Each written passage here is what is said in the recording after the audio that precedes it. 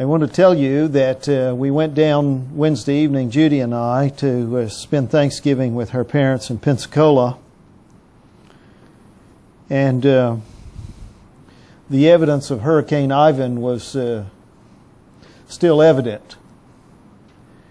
But it wasn't until Thanksgiving morning that uh, Granddaddy and I and uh, Stephanie and Emily got into the automobile. We left Judy behind to fix Thanksgiving dinner. And uh, I said to Granddaddy, Can we get down to Alabama Point? I don't know. I said, You haven't been down there? No.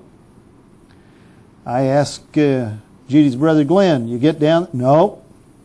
I asked her brother Johnny, You been down? No.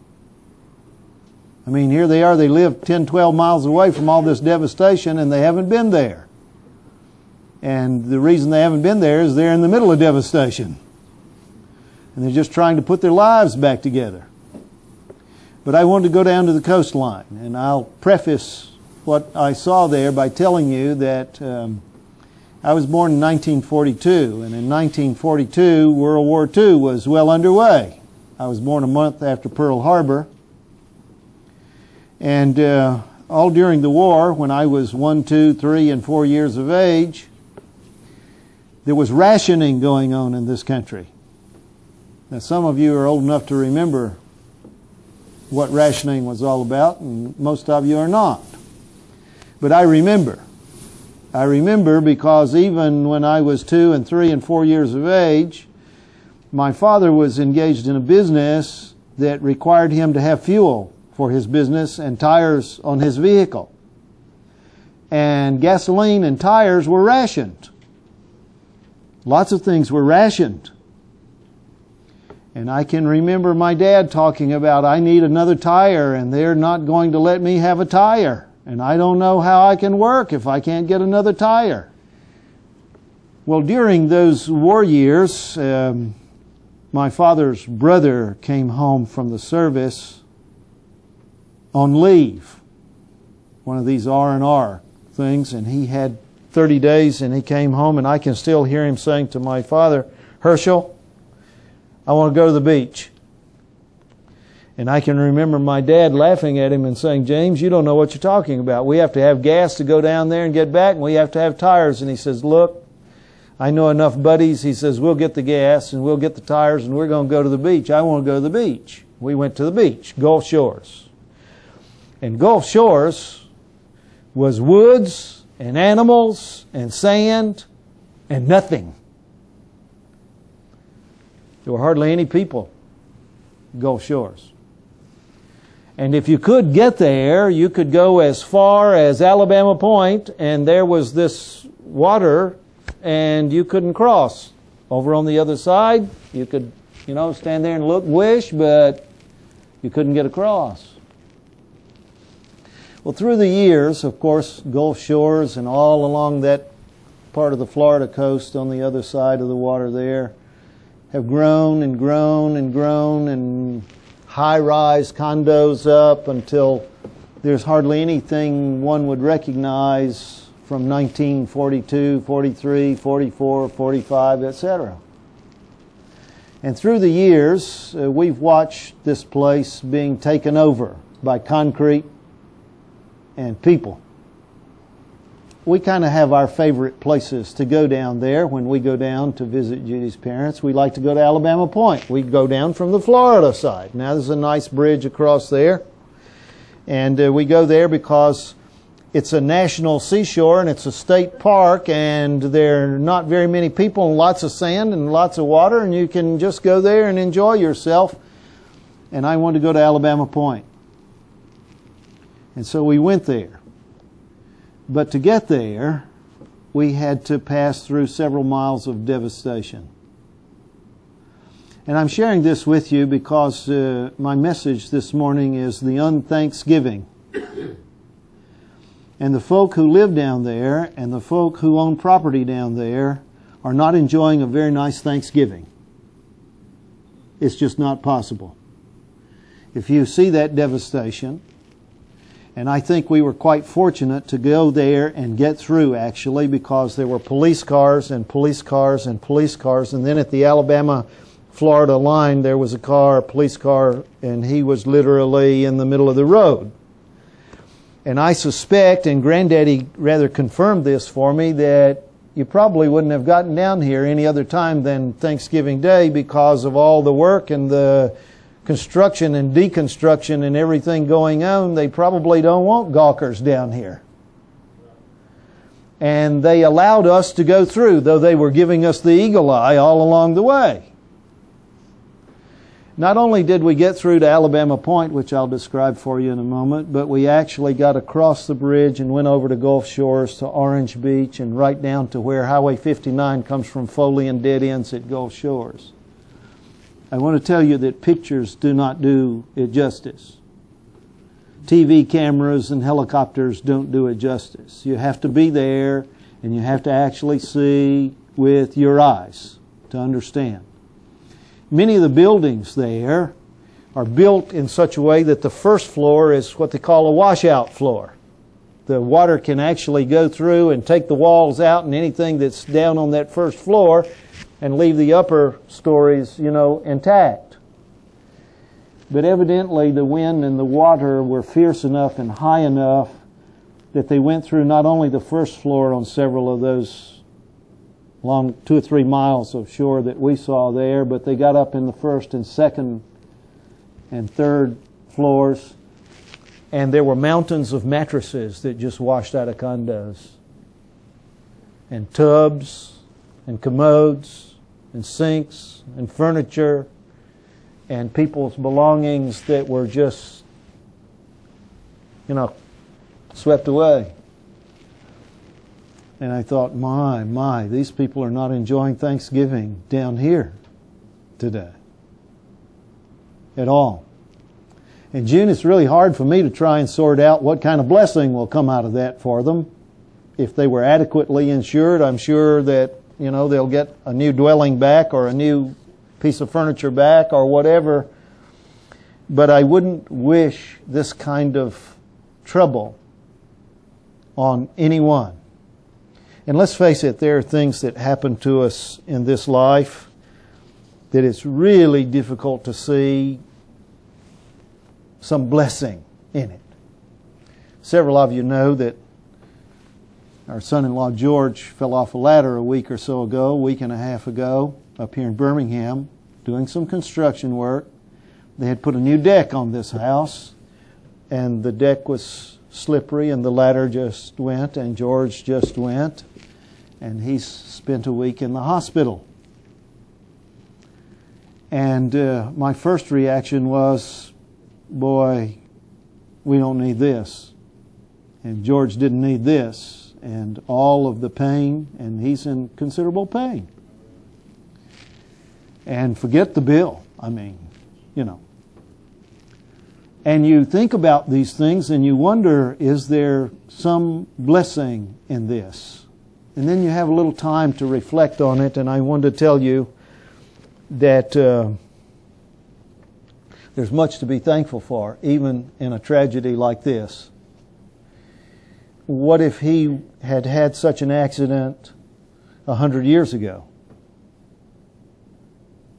and they couldn't perform the surgery and they couldn't administer something to dampen the pain? What if this had happened in another part of the world? What if?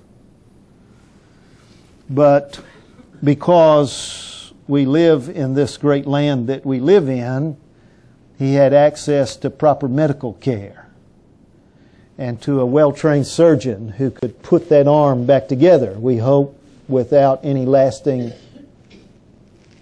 effect. He had access to equipment that someone had to invent and someone had to manufacture, and they had to be able to do that CAT scan and take those x rays, and someone had to be trained to read those things and Someone had to construct that hospital. Someone had to do all of these things. And yes, it was a tragedy, but it could have been a real tragedy. But for the blessings that we take too often for granted, I want to talk to you about the unthanksgiving this morning and tell you that the opposite of a thankful heart, the opposite of thankfulness and gratitude, is selfishness and pride. There's some very interesting passages in Scripture when we start talking about thankfulness and unthankfulness. But I, I, you know, I'm reminded of what Paul wrote to Timothy about the last days, and one of the signs, one of the marks, Paul said, that will indicate the last days have come. He says there's going to be people who are unthankful. See? Unthankful. And he adds to that, unholy. To be unthankful is to be unholy, if we haven't ever thought of it in that way. And to be thankful and to have a heart filled with gratitude is to approach holiness. And we need to practice giving thanks. Now, I'm a whiner, you know. If you ask me if the glass is half full or half empty, it's half empty. That's just my personality, and that's the way I look at life. I'm a whiner, but I also find things to be thankful for. I have to struggle to get there sometimes, but I find them. I find them. And I want to tell you, having gone down to the coast Thanksgiving morning and seeing the devastation, not only at the water's edge, and by the way, it uh, removed several hundred yards of shoreline, just gone. The water's virtually up next to the highway now, and we used to have to hike for several minutes to get out to the water. But, but as you're coming inland, the devastation continues, not for a mile or two, not for 10 miles, not for 20 miles, not for 30 miles, for 50 miles and 60 miles and 70 miles, and you keep coming. And the trees are just whipped right down. And the roofs are missing off of buildings and homes and cars where trees just, you know. And you think of the hundreds of thousands of people who were not adequately insured for something like this. And they're just taking the loss. I mean, it's on the chin. And having seen that and having been here, as most of us were when that storm passed over us, I wanted to tell you I'm so thankful that we did not experience more destruction here than we did. Because it's not too many miles and minutes down the road. And just like this tornado on Wednesday morning, it's just destruction. And of course, the Bible tells us were it not for the goodness of the Lord, we should be what? Destroyed. So the Lord looks over and watches over his children. There are some passages that I want to remind you of this morning and tell you that there are those who are unthankful. Jesus healed many people. And we have the record of, you know, those 10 and how many came back to say thank you. Just one. Just one. Now, Jesus should have known, shouldn't he, that they were ungrateful and unthankful, and why would he waste his time and energy on people like this? Why would he come where no one really wanted him to come? And why would he do the things that he did? And you and I can be thankful today that he did. And let us pray that we are at least one of those who has some thankfulness and some gratitude and express it to God. I'm in Psalm 92, and I want to contrast this passage of Scripture with Ezekiel and the king of Tyre and Lucifer, Satan. It's a good thing, Psalm 92 says, it's a good thing to give thanks unto the Lord and to sing praises unto thy name, O Most High, to show forth thy loving kindness in the morning and thy faithfulness every night. Upon an instrument of ten strings, and upon the psaltery and the harp with a solemn sound. For thou, Lord, hast made me glad through thy work. I will triumph in the work of thy hands. O Lord, how great are thy works, and thy thoughts are very deep. There's something healing about a thankful heart. If a person is depressed and morose, if a person is down, not much healing takes place. Not much healing in the body, not much healing in the spirit, and not much healing for those around. But a merry heart doeth good, like what? Like medicine. Giving thanks is actually lifting to the spirit.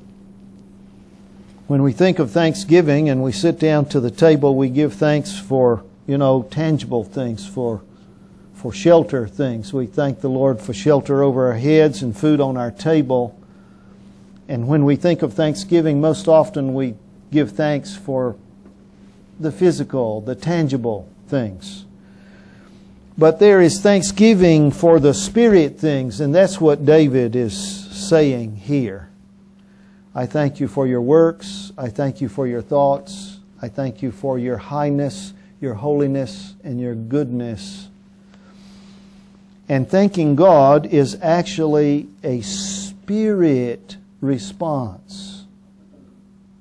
It's something that we do in the spirit. And if we are truly thankful and truly filled with gratitude, then there is an added blessing to us. Paul in Romans 1 talks about those who were not thankful, he says. And he goes on to describe their condition. And once again, they're unholy and they're unclean and their thoughts are impure, he says. Because they are unthankful. An unthankful spirit is selfish and proud and envious. Granddaddy said something while we were down for Thanksgiving that um, I've been thinking about since, and uh, it has troubled me. And uh, Thanksgiving evening, we came home and I went to sleep kind of early and woke up again and turned on one of the talk show programs and I heard something on the talk show program that reinforced what Granddaddy told me and I thought about it and it troubled me and it's been troubling me. And because I'm a whiner, I'm going to tell you about it.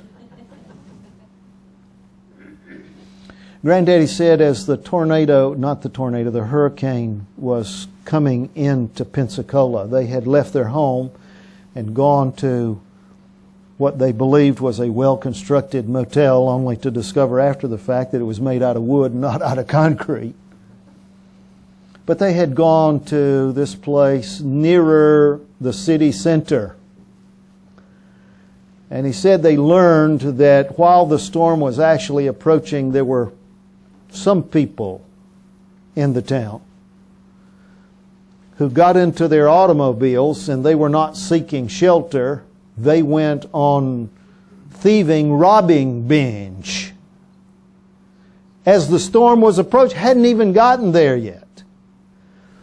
And their plan of action was this. They would go by the stores they wanted to loot and they would throw bricks and boards through the windows, which of course after the storm people would think had been caused by what? by the storm. They would throw rocks and bricks and boards and things through the windows, and then because the police were completely overwhelmed elsewhere, and because people had left their properties and their businesses and were fleeing for safety, why, they just looted whatever they pleased. And there were gangs of these people. And I tried to reason this in my thinking this is so troubling to me because I don't like to have people like this on the planet. And it's a good thing I'm not in charge of cleaning up things. And I'm trying to think through this kind of mindset. Because never would the thought ever occur to me. It would never even come into my mind that, boy, this is a great opportunity to go out and steal.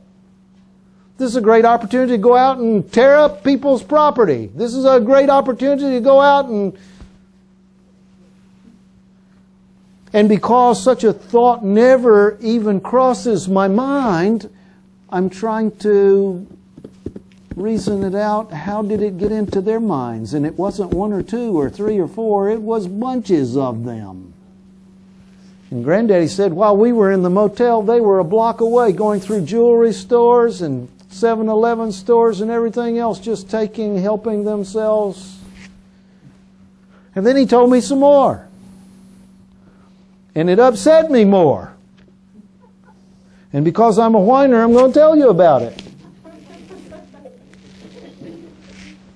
He said that the devastation along the coastline was, of course, you know, indescribable, and it was immediately sealed off by the county police, by the state police, by all the city and small burg police, and then they brought in the National Guard. And they sealed every road in. And the people who had gone into shelters, they wouldn't even allow out of the shelters. Now, why would they seal everything off? Come on. The first, the first cause is to prevent looting, okay? Also, there were buildings, if you went into them, the thing could fall on you. I mean, we saw buildings three and four and five stories standing like this, and you went in there, the thing could just, you know. And people might want to go in there and try to salvage some personal belonging or something and then be killed. And so they sealed every road off. But then these looters decided they knew how to get there. So what would they do?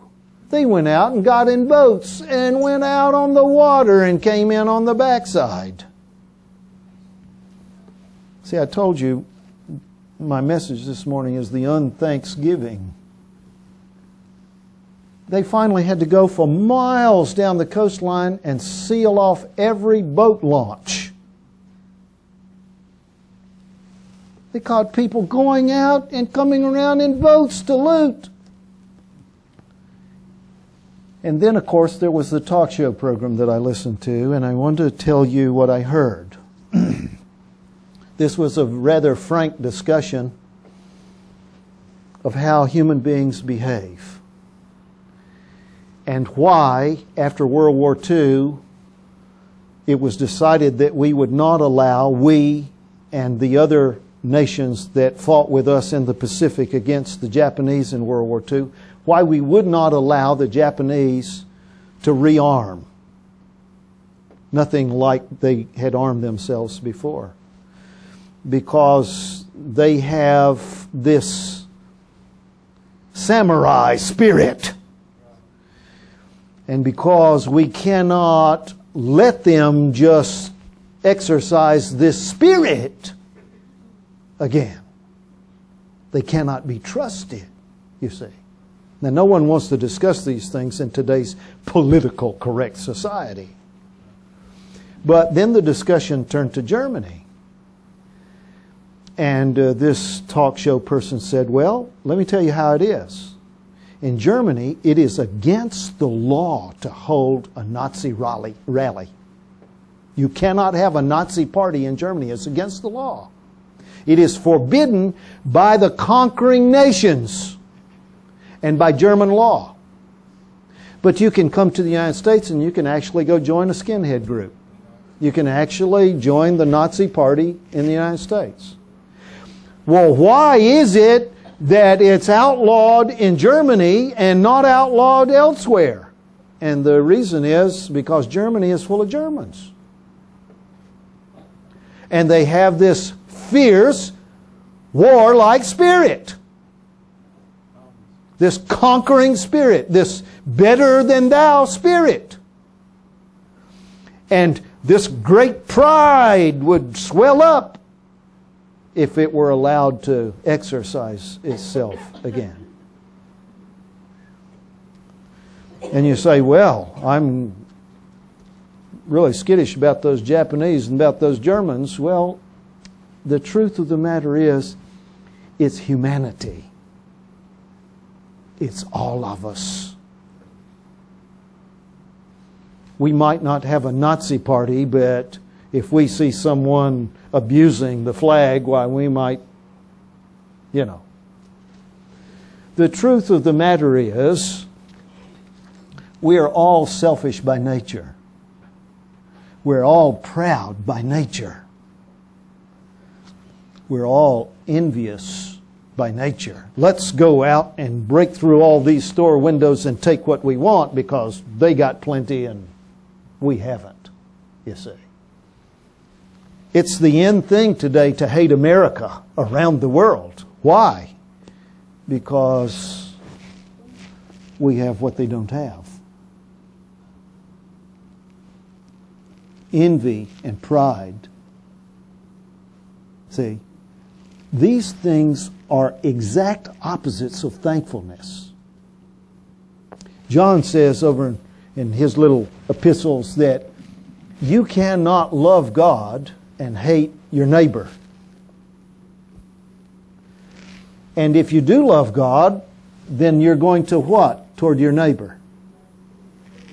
And the Bible tells us that saying thanksgiving and praising God, see, is an expression of love. Now, where is granddaughter Emily? Would you come up, please? And I'll stand here by you. So if you miss a word or have trouble with a word, I don't think you will. Now, I must tell you that Miss Jessica has inspired Miss Emily. And Emily is in the second grade at Breakworth at the school there in Hoover. And she is just, she is reading very well. And I'm so proud of her, I want her to read Psalm 100 for us all this morning. Okay, will you do that? Make a, make a joyful noise unto the Lord, all ye lands. Serve the Lord with gladness. Come before his presence with singing. Know ye that the Lord he is God. It is he that hath made us, and not we ourselves. We are his people, and the sheep of his pastures. In, Enter. enter his into his gates with thanksgiving, and into his courts with praise. Be thankful unto him and bless his name, for the Lord is good. His mercy is everlasting, and his truth endures to all nations. To all generations. Generations. Thank you. Thank you. All right.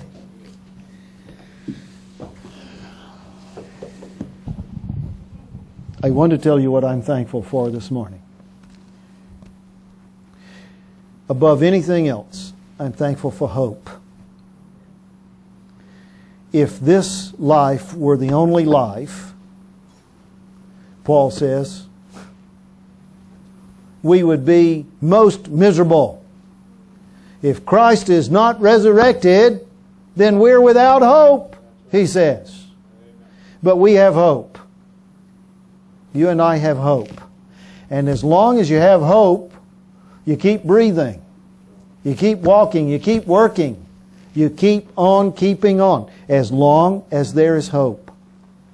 I'll close with an experience I had in New Orleans. It was a sad experience, and it was a bad experience. I was employed at that time by the Southwestern Union, and I was doing follow up evangelism for the Union, and I was spending five to six months preparation before the Union evangelist would come in and hold evangelistic meetings, and we would baptize as many as would be baptized. In one home in particular, on the other side of the river that I called on, this uh, lady had purchased books from one of our canvassers and had paid for them, and I called at the home and introduced myself and uh, told her who I was with and that she had purchased books and that I wasn't there to sell anything. I was there to tell her that she qualified for a free Bible course and and uh, uh, a study course that would take her into her books. And her face just lit up, but about that time her husband appeared over her shoulder and he did not have a face lit up. It was lit up, but the wrong direction. And he just rudely grabbed her and shoved her aside and said, She don't want none. And he was about to close the door in my face. I was standing on the front stoop. He was about to close the door in my face, and she just let him have it. And she really gave him the elbow. I mean, and she said, Don't listen to him, I want it. And probably his behavior clinched, you know, her own decision for something scriptural and spiritual and, and good and uplifting. Well, he went back sulking and fell down in his recliner over there. I could see him, and he was looking at me with a real glare, you know. And she said, Won't you come in? And I didn't know if I wanted to or not, but I dared to step in. And he was sitting there back in his recliner and he had his beer propped on the arm of the recliner like this, you know, and he started in again. Uh, you know, stepping in the door was, you're now on his territory. And he let me have it again. And I don't have to repeat what he was saying. But this is what he said that I remember to this moment. He says, You're just like all those other preachers come around here and tell me I'm going to hell because I'm drinking beer. And the Lord just gave me the words. I said, Sir, I don't believe that. The man was so shocked he sobered up. he just sat there and he looked at me with a dumbfounded look and he said, You don't? And I said, No, I, I don't believe that. Well, all those other preachers say that. And I knew what he was saying was true. This was a man without hope. This was a man who had already been told, You're lost. You're going to hell. Nobody cares about you.